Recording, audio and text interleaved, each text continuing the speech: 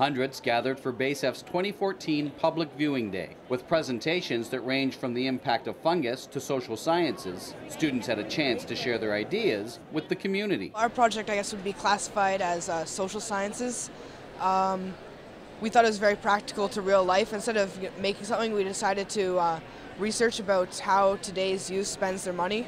It gives us good experience for, uh, for the future, know, what it's like to uh, be in a science fair and the, the actual process of conducting a scientific experiment and a research project. I'm definitely looking to pursue a career in the sciences, um, particularly in either the engineering or microbiology field.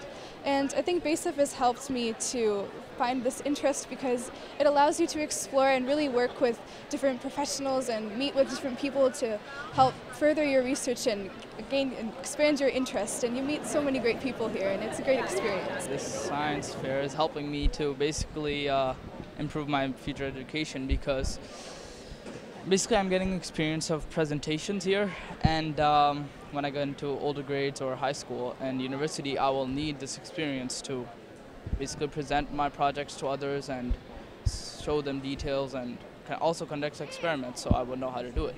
The science fair actually allows us to see that there are many different types of sciences uh, out in the world, not only based um, uh, on mechanics or on engineering, uh, but also there are also human types of sciences like uh, mine. So for me in the future, uh, I might actually take a look into um, more linguistic types of research and see how uh, we can change our way of speaking, of talking, and how we have evolved. We're able to meet new people who are more advanced in the things that we want to learn about and so we can take that and apply it to whatever we want in the future in regards to schooling or even just just to learn for every day.